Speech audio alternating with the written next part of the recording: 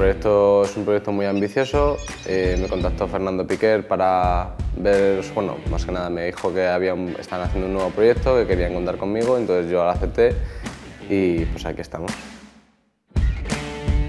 Eh, las expectativas que tengo sobre el equipo para mí son una incógnita, es decir, yo siempre intento mantener la calma y a lo que me centro es intentar en, ver si todo cuadra. O sea, me gusta jugar con, con, mis compañeros, me gusta estar dentro del servidor y dentro de lo que cabe empezar a ver si todas las piezas congeniamos entre nosotros y, y podemos sacar algo muy bonito hacia adelante o si en verdad no y hace falta o mucho más trabajo o otro tipo de cosas.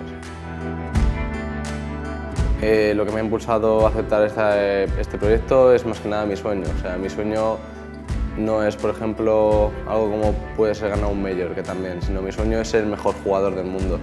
Y es muy difícil conseguirlo, sí, pero como mínimo voy a llegar a ser una leyenda en esto.